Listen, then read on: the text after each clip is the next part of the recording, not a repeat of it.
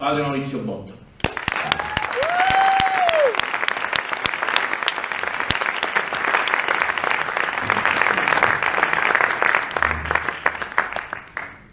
Beh, innanzitutto questo incontro già da questa mattina mi ha messo particolarmente di, di buon umore, quindi sono molto contento.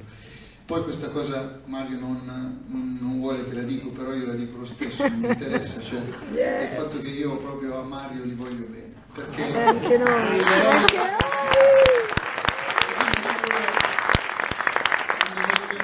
ma li voglio bene per, non da un punto di vista solo affettivo, proprio con questo senso dell'amicizia, perché quando lo conobbi ormai un po' di anni fa, dai famosi amici ben pensanti mi fu detto attenzione, perché Mario Di Nolfi ti userà, perché è un politico, perché qui è bene. I veri politici erano quelli che me lo dicevano e io da lui non sono mai stato usato.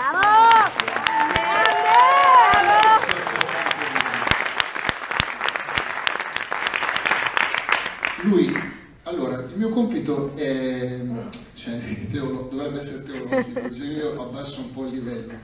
Nel libro, secondo capitolo, Mario eh, ha voluto al posto volgere in positivo la celeberrima frase di Benedetto Croce perché non possiamo non dirci cristiani, lui l'ha volta al positivo dicendo perché possiamo solo dirci cristiani. Solo che io non vorrei usare un'espressione eh, romana sul dito, cioè sull'essere fastidioso, ecco, eh, comunque, mamma e papà non hanno capito, glielo dico poi comunque,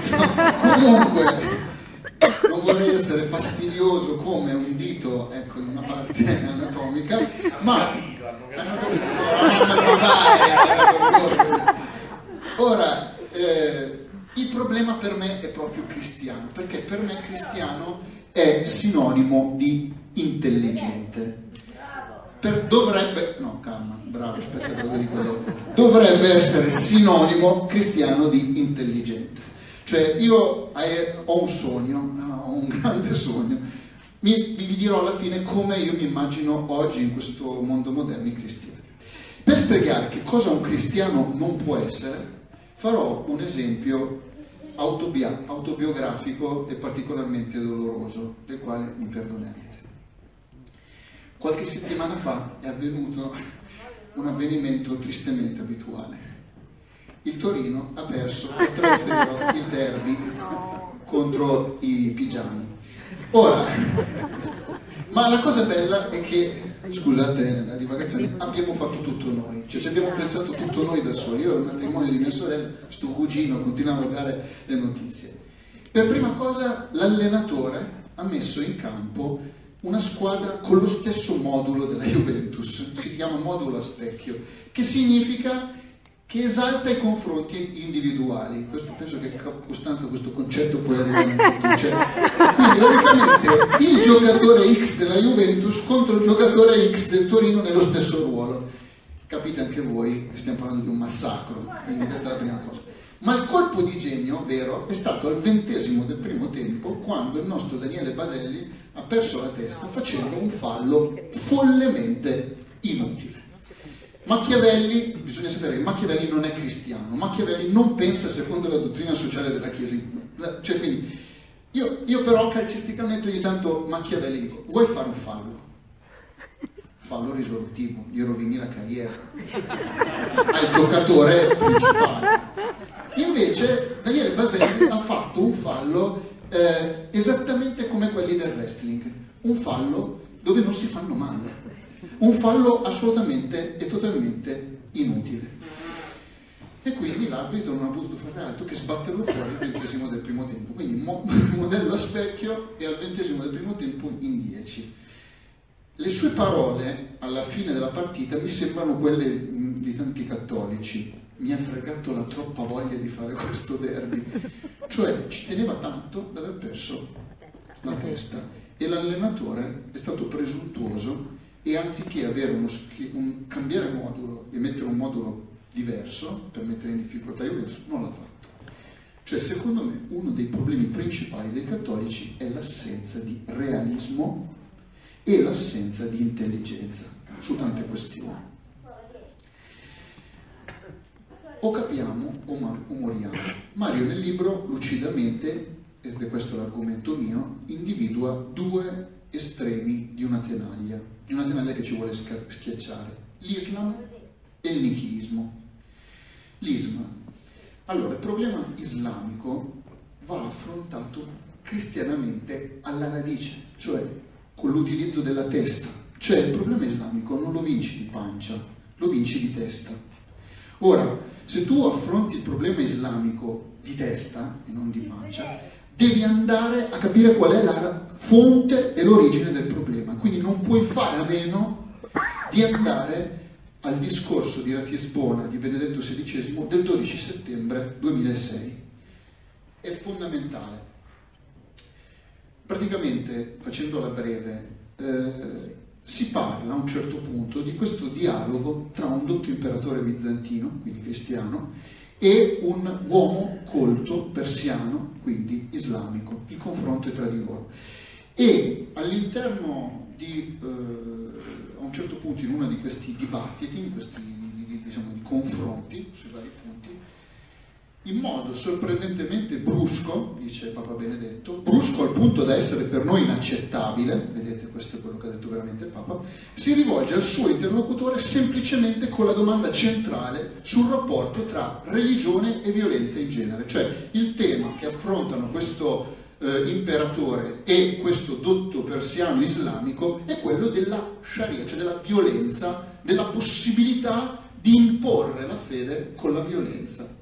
Dice così il cristiano, l'imperatore bizantino, mostrami pure ciò che Maometto ha portato di nuovo e vi troverai soltanto delle cose cattive e disumane, come la sua direttiva di diffondere per mezzo della spada la fede che egli praticava, predicava.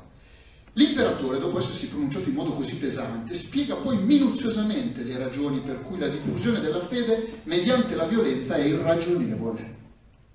La violenza dice l'imperatore, è in contrasto con la natura di Dio e la natura della stessa anima umana. Dio non si compiace del sangue. Non agire contro ragione è contrario alla natura di Dio. Cioè agire contro la ragione è agire contro la natura di Dio. Questo è il punto intellettuale e di fede al cuore del rapporto con l'Islam.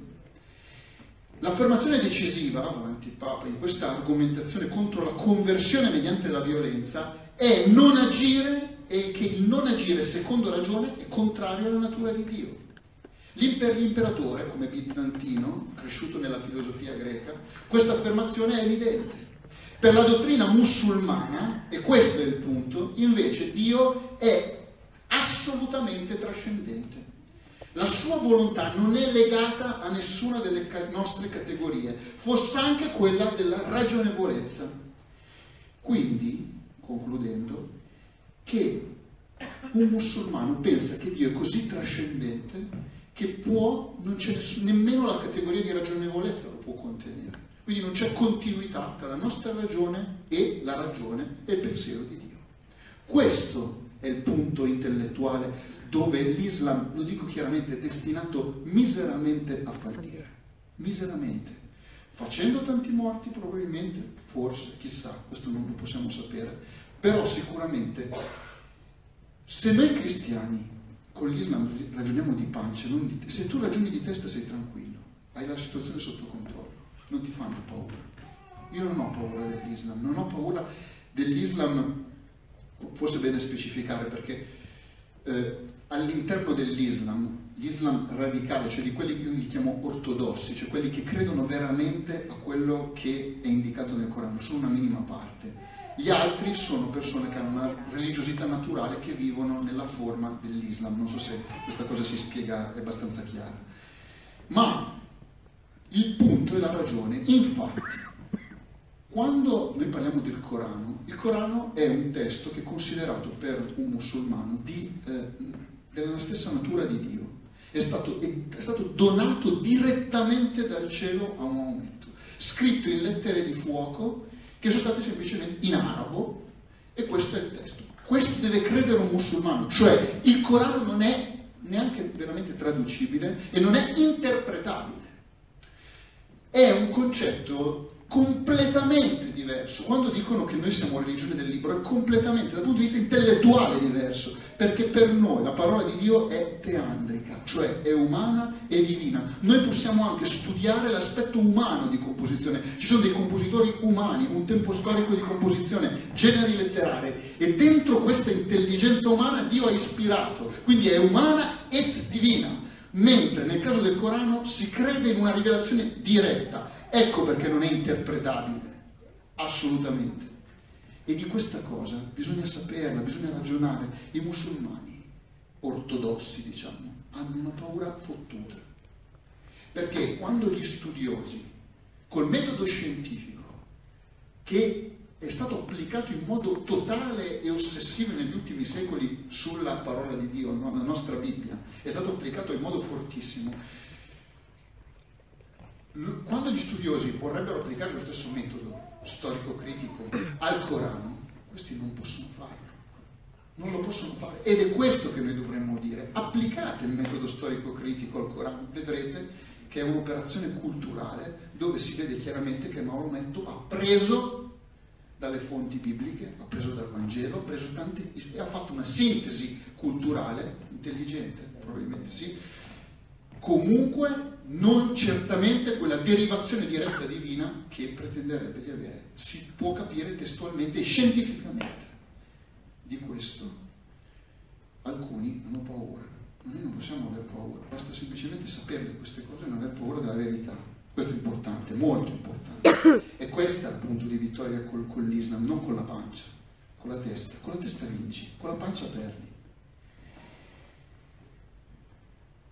Ad esempio, un'altra cosa che bisognerebbe dire sull'Islam è, è che mm, c'è una negazione storica della croce, della morte in croce di Gesù, mentre le, i, i, reperti, diciamo, cioè lo studio storico, scientifico del, di come veniva crocifisso un uomo e i dati indicati nel Vangelo coincidono perfettamente, cioè è scientificamente esatto il modo con cui è descritta la croce. Quindi quando tu vuoi parlare, la croce non è qualcosa, una cosa che può essere o non essere, è avvenuta ed è avvenuta così, un altro elemento importante. Posso dirvi una cosa che proprio mi tolgo un sassolino dalla scarpa, perché questo è un altro punto importante, perché non ce lo diciamo mai, perché ci dà fastidio. Io mi sogno, ho un sogno, è a dream, dei cristiani che rispetto all'Islam sono uomini, donne così liberi che attraverso la preghiera e i sacramenti hanno una caratteristica, sono capaci di accontentarsi e quindi sono forti perché possono vivere anche a pane e cipolle. Mi potete dire, ma cosa c'entra questo con l'Islam? Cosa c'entra? L'unico vero competitor di Dio, parola di Gesù, è un idolo che si chiama Mammona. Se i cristiani non sono degli uomini liberi, cioè non si accontentano, non sono disposti a mangiare pane e cipolle, e questo lo, posso, lo può fare solo uno che ha una vera fede, ci compreranno. Questo sta avvenendo, è scritto in quello che dice Mario.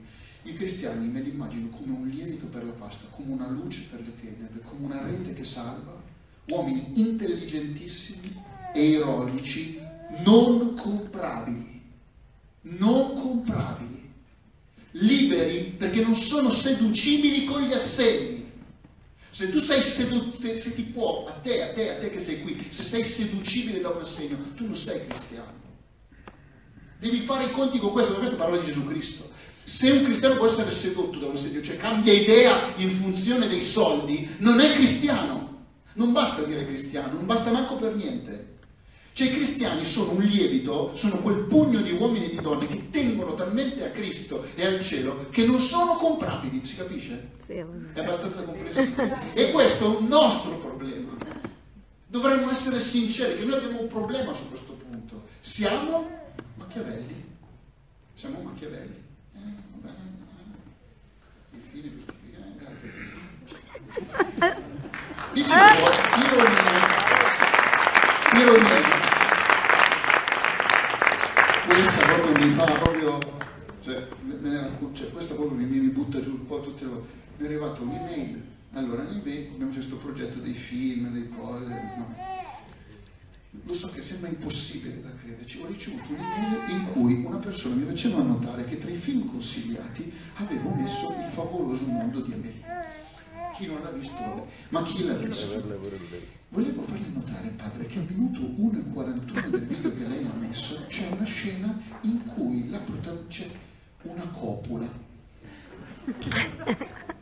e mi mette il documento, eccetera. Oh, io dico, cavolo, che cosa ho fatto? Quel film lì, tra l'altro, se c'è un film pulito, un film dove cioè, è molto molto poetico, è stupefacente perché in un mondo sessuomane, un film così, che è ancora una caratteristica romantica, è piaciuto da matti alle donne. Forse questo vuol dire qualcosa che questa mentalità mes- maschilista trasmette, non è forse l'immaginario eh, della donna. Vabbè, comunque, ma se c'è un film proprio che perché in quella scena lì c'è la protagonista che ha questa faccia così, proprio è assente, cioè fa tutto il protagonista maschile che è tutto concentrato e lei così, eccetera. È ridicola, è ironica, fa ridere, è in un contesto che fa ridere. Non è una scena che suscita niente, non è un film erotico. Oltre al fatto che, ma ridono anche i bambini, meno male, perché i bambini hanno un senso dell'ironia molto acuto, a differenza degli adulti. C'è il problema dei cattolici, hanno un problema con l'ironia. Allora, l'ironia non è né il sarcasmo, cioè che ha una venatura di disprezzo, l'ironia è una cosa di gente per bene, cioè è, è, una, è un sorriso bonario dove tu puoi anche avere bontà rispetto a quello che fa la cosa. Eppure l'unica arma contro il seconda tenaglia all'estremo, quindi primo l'Islam ha ragione, la seconda è una forma particolare di intelligenza, ancora in questo caso, che è l'ironia. E qua noi dobbiamo veramente, chi non ce l'ha deve, deve nutrirsi dei nostri campioni. Noi abbiamo i campioni di ironia che bisogna frequentare eh, obbligatoriamente per sperare di venirne un pochettino contagiati. Ecco, questo è il concetto. Penso a Guareschi, io tutte le sere mi leggo un raccontino di Don Camillo, vado a letto più sereno perché veramente sono intrisi di ironia e di buonsenso e di intelligenza ed era un uomo coraggioso diceva a un certo punto che l'unica via che a un certo punto un uomo per bene può percorrere è quella che porta direttamente al carcere. Cioè uno per conservarsi, un uomo da bene, a un certo punto deve avere la libertà interiore. Io questo insegno ai miei ragazzi, dire, ma ragazzi non è che eh, noi dobbiamo essere necessariamente dei buoni cittadini. Può capitare un giorno che eh, per essere santi dovremmo essere cattivi cittadini, quindi ci rimane una via sola da percorrere, quella di andare al carcere, ci andiamo tranquillamente. Io ogni tanto ci penso, magari mi sbattessero dentro un po' di tranquillità, nessuno che purtroppo c'è concordato finché dura, abbiamo gli arresti domiciliari, però comunque me ne starei in casa, perché io sono agli arresti, scusate, puoi venire a Cervi? No, non posso venire, puoi venire, non devo stare qua, mi dispiace, ah, che dolore, che dispiacere, me ne starei nella mia cameretta, poi credo che domiciliari in Italia se vado a prendermi un caffè al bar nessuno se ne accorge, tranquillo. ma chi mi ammazza? Ma io lo dico, mamma voglia, ma se andassi in galera non dicerebbe così tanto. Noi no, cioè non è che se non è per un reato, cioè se non è una cosa grave, cioè se non ho fatto male a nessuno, ma per un'idea, per un'idea io sarei felice di andare in carcere, per un'idea, cioè magari arrivassimo Guareschi. Guareschi è uno che è andato in carcere per le sue idee, Lewis Lettere di Berlì, che è un altro autore. Ma penso a, a, Tolkien. Tolkien è ironico, simpatico, e gli Hobbit sono l'incarnazione di quello che è e trasfonde speranza, un libro intriso di speranza, Signore degli Anelli, anche se non parla mai di Gesù, di Madonna, eccetera, è il libro più cattolico che io conosca, proprio ce l'ha dentro, scritto dentro. Ma poi un altro, un campione meraviglioso che purtroppo c'è, il Cardinal Biffi, il Cardinale Biffi è, è, è, un balsamo per l'anima, ma leggete, eh, la, la, il Cardinale Biffi è un genio, è, è acuto, è simpatico, è ironico. Questo quinto Vangelo che lui ha scritto è da pisciarsi da ridere perché descrive ancora oggi dei problemi che continuano a esserci all'interno della Chiesa Cattolica. Ma in particolare c'è un autore che a livello grande nemico del nichilismo ed è Chesterton. Allora, Chesterton ha un problema, nel senso che devi essere molto umile per leggere, è talmente intelligente che tu cominci a leggerlo e non ci capisci la mazza per tre pagine. Poi a un certo punto è come andare in una miniera, capito? Tu entri dentro questa miniera, Clara, è così, entri dentro la miniera e dici, ma che buio, che buio, che buio, buio. Poi a un certo punto, bam, trovi la pagina, la pagina solo, che capisci qualcosa, capisci tutto e sei felice. E soprattutto una roba nutriente, cioè Chesterton ti riempie la mente e tu continui cosmosamente a masticare quelle idee geniali che lui ha detto in un modo corto, simpatico e geniale. Cioè, i libri di Chester sono da leggere un po' per volta, due o tre pagine per volta, e poi fermarsi lì e poi... perché è troppo, è troppo denso, è troppa roba. Tutti lo capiscono, il problema è che ci vuole qualche estrattore, cioè qualcuno che ti tiri fuori da Chesterton e io ho provato a fare l'istruttore per voi. Sentite questo. Il Giacobino potrebbe dirvi non solo il sistema contro il quale si ribellerebbe, ma, cosa più importante, il sistema contro il quale non si ribellerebbe, il Giacobino classico. Ma il nuovo ribelle, adesso chiudete gli occhi e pensate a quale partito sto parlando. Ma il nuovo ribelle è uno scettico e non avrà fiducia completa in niente. Non ha senso di fedeltà, pertanto non potrà mai essere un vero rivoluzionario.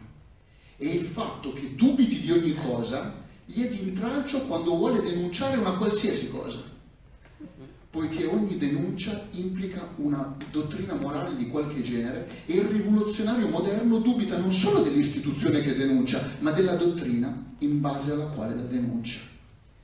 Capite che questo pensiero qua è corroborante, corroborante è una parola italiana che significa che ti dà forza, cioè robur robur, cioè le parole sono belle, mamma mia, viva l'Italia. Comunque, Viva l'Italia, grazie. ma viva Bravo, un'altra, cosa ironica che è in linea con quello che diceva il grande Marco è questa.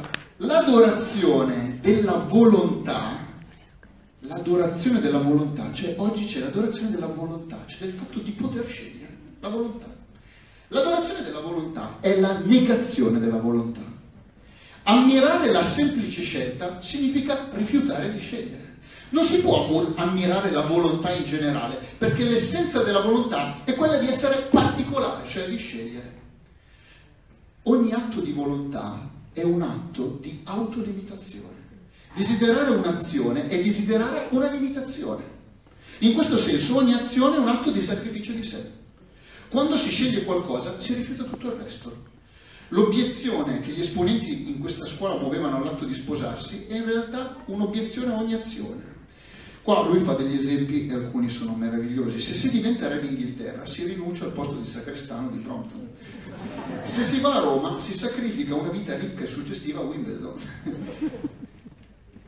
È l'esistenza di questo lato negativo o limitante che fa sì che le chiacchiere degli anarchici adoratori della volontà siano poco più che sciocchezze. Andiamo avanti. Se alla propria maniera, qua dice, eh, è impossibile essere un artista e non curarsi delle leggi e dei limiti. L'arte è limitazione, l'essenza di ogni quadro è la cornice. Quando si disegna una giraffa, questa va disegnata con un collo lungo. Se alla propria maniera audace e creativa uno si sente libero di disegnare una giraffa col collo corto, si capirà che in realtà non si è liberi di disegnare una giraffa. Nel momento in cui ci si mette, si mette piede nel mondo dei fatti, si entra nel mondo dei limiti. Volendo si può liberare una tigre dalle sbarre della gabbia, ma non la si può liberare dalle sue striature. Non liberate il cammello dal peso della sua gobba, potreste liberarlo dall'essere un cammello. Non andate in giro come dei demagoghi incoraggiando i triangoli a scappare dalla prigione dei loro tre lati. Se un triangolo scappa dai suoi tre lati, la sua vita giunge a un termine doloroso. Allora, per dire che... Ultima cosa, un minuto. Eh, l'ironia. Questa gente la vinci con l'ironia. E per avere l'ironia vuol dire che devi pensare. Per devi pensare devi necessariamente stare in silenzio. E dove ti devi spegnere quegli aggeggi, devi, devi riuscire ad avere tempi di silenzio, forse anche andare a correre, ma un tempo in cui sei in silenzio mentalmente. Infine, cristiano, quindi un cristiano è un ironico, un intelligente, o un sogno, un cristiano è uno che spera. Un cristiano è uno che combatte una battaglia spirituale interiore e non è mai vinto dalla tristezza. è attaccato dalla tristezza, ma è un combattente che non conosce l'arrendersi. Eh, non è vinto mai dall'ira o dal livore. Ha moti di ira e moti di livore, ma non è mai vinto dall'ira o dal livore. In questi tempi così oscuri abbiamo bisogno di uomini oranti e pensanti, uomini fecondi, uomini capaci di sorridere, sornioni e di mostrare la vicinanza tra la follia e il pensiero moderno con arguzia. Sempre Chesterton dice che c'è una vicinanza incredibile tra il pensiero moderno e la follia, perché il folle non è un immaginativo, il folle è un logico. Il problema è che è chiuso dentro il suo quadratino e se tu entri dentro il suo quadratino ha ragione lui. I pazzi ti chiudono dentro il quadratino e ti dimostrano che hanno ragione loro, ti convincono della loro follia se stai lì dentro. L'unico modo è il senso del paradosso, dell'ironia, far cogliere che tu esci dal quadro, dal quadricino non ci stai dentro.